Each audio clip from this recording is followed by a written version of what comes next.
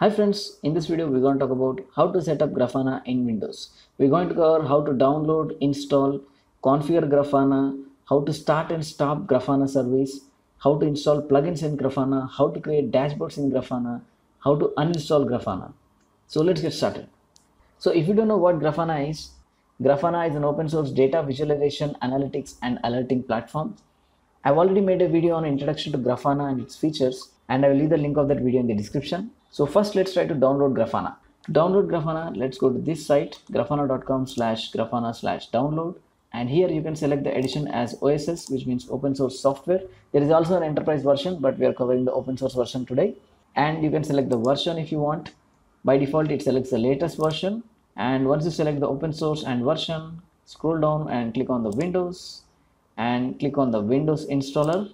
Now we are downloading the Windows installer so after you download the windows installer just double click on this and just click next next that's all.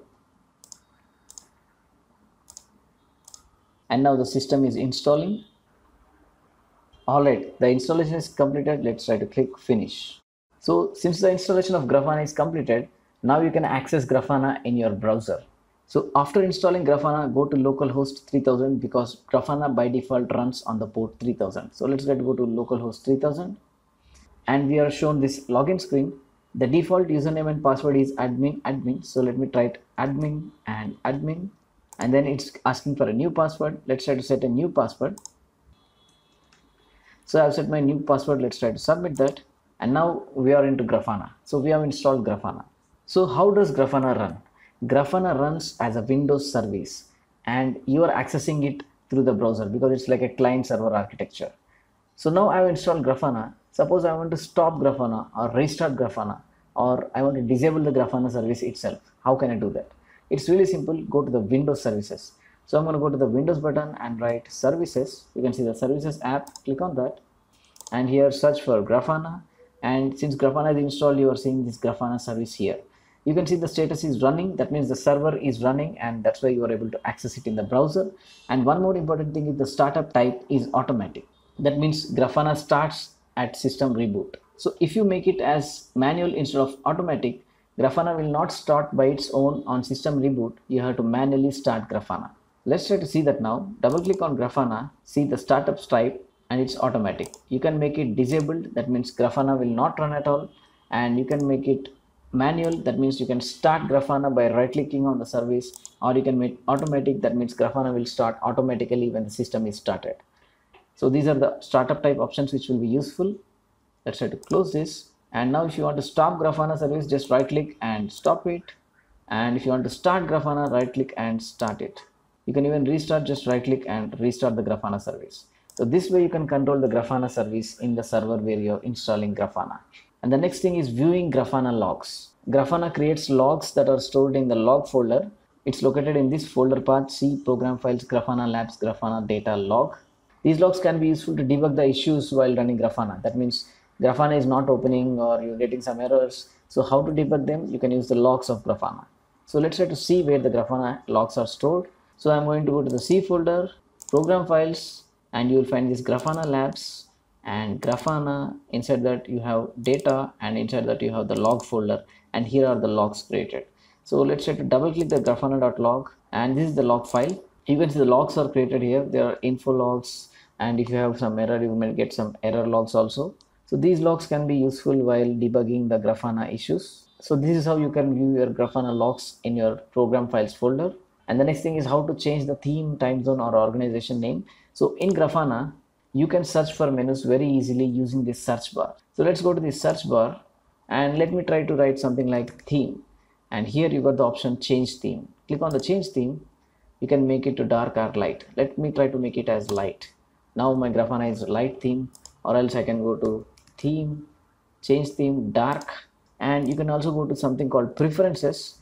There is something called default preferences go to default preferences and you can change your organization name update organization name change the theme from default to light or dark. You can do it here also or else make the default which will select the theme of the pc my pc theme is by default dark theme. That's why i got dark theme in grafana. And you can change the time zone to your local time zone like india us etc by default it takes the local time zone. So my default time zone is india ist so this is how you can use the default preferences section to do some main settings like theme and organization name or time zone. So we have seen some settings here. Let's try to see some more configurations of grafana so in c program files grafana labs grafana you have a folder called conf and you can configure grafana using the defaults.ini file let's try to right click and open with notepad so this is just a text file where you have settings let's try to open this file with VS Code because you can get some nice syntax highlighting there. So I'm going to open it with VS Code. So this is the defaults.ini file of Grafana and you can configure a lot of settings here. Let's try to see the first setting. Let's try to change the port of Grafana. Currently Grafana is running on port 3000, right? So if you want, you can just do control F and search for port. Here you can see HTTP port and there is a section called server. In the server section, you can change the server details like what is the IP address, what is the port. So in HTTP port, if I make it as 3001, Grafana will run on 3001 port instead of 3000. And there is one more configuration called HTTP address. Currently it is not given anything. That means Grafana will listen on all IP addresses. But if I write HTTP address equal to localhost or 127.0.0.1, Grafana will listen on only that address. It can't be accessible through other IP addresses. Or else you can use the internal IP address here so that people can't accidentally open it through the public IP. In this way, you can change the IP address at which Grafana is hosted, the port at which Grafana is hosted. And you can even use SSL and specify the domain name also, but we'll not cover that. But you have settings for that here. You have the certificate key, certificate file, and you have the protocol. You can change it to HTTPS. So these are some of the server settings and the next thing is the database section let's try to do control F and use the database section and in the database section you can see there is SQLite 3 that means Grafana is by default using a file based database called SQLite 3 to store its configuration in all the state so if you want to use a Postgres database or a MySQL database, you can just change the type to MySQL or Postgres and then Grafana will use that database to store its state, settings, etc. For load balancing or high availability, you can use other databases like MySQL or Postgres. But for simple single node instance, SQLite 3 is okay. And the next important section is security. So let's go to security section. And here you can set the default admin user, admin password. What is the email address of the admin user? What is the secret key used for signing or encryption and some cookie security, etc. So all the security details of Grafana can be configured here. And the next important section is the SMTP section where you can configure the mail server. Suppose you configure alerts in Grafana. So how can Grafana send emails? Grafana can send emails through this SMTP section. So suppose you have a Google account and you create an app password in Google. You can use that Google details and configure the SMTP section. Then Grafana will use your Gmail to send mails. Or if you have your own email server, you can configure the SMTP details here so that Grafana will use that email server to send emails. And the next section is log. So in the log section, you can define what is the levels of logging that can be done by Grafana. By default, it's info logging. Suppose you want to see only the warning logs or the error logs, you can change that from these options. That means instead of info, I can write warn. So that's it guys. This is about the defaults.ini file of Grafana using which you can configure the behavior of Grafana. So there is this documentation of Grafana at Grafana docs, Grafana, setup Grafana, configure Grafana. I've already given the link in my references of the blog post. So at this page, you can see the configuration options of Grafana and you can refer this page for more configuration details of the Grafana's default.inf file. Alright, we have seen how to configure Grafana. Now let's do some fun things. Let's try to create some dashboards in Grafana. So I'm going to go to the Grafana's home by clicking on this icon and then I'm going to go to this hamburger page and go to dashboards and here you got the dashboards management page you can even search for the dashboards page so i'm going to go to write dashboards so i got my dashboards page. So i'm in the dashboards page. Let's try to create a new dashboard. You can click on this create dashboard button or go to this new new dashboard. Now you got a new dashboard and you need to add some visualizations right? So let's try to add a visualization. That means let's try to add a panel to this dashboard. So click on add visualization. You can click on this button or you can go to add visualization.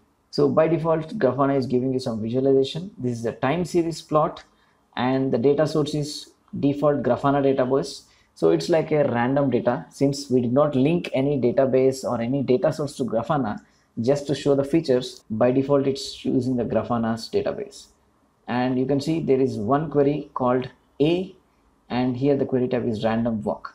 let's try to copy this query and create a second query b it is also random walk let's try to reload this now now you got two series a and b so this way using queries you can create multiple series in the grafana's panel.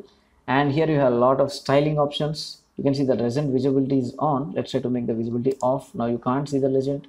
Click it on and you can make it the table mode or you can give it a right legend.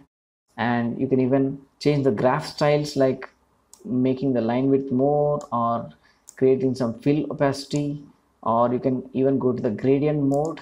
Let's say increase some fill opacity and then you can add some opacity. The graph looks cool that way and you can even stack the graphs. So stack series normal.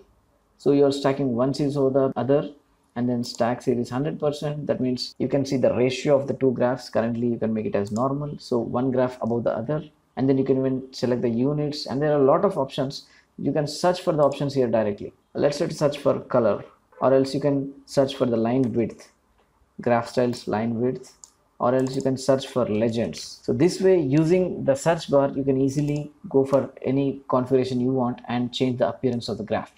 Alright that's how you can configure some time series visualizations in grafana. Let's go to save this.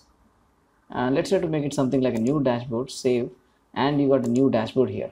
And if you want to add one more panel just click on this add visualization.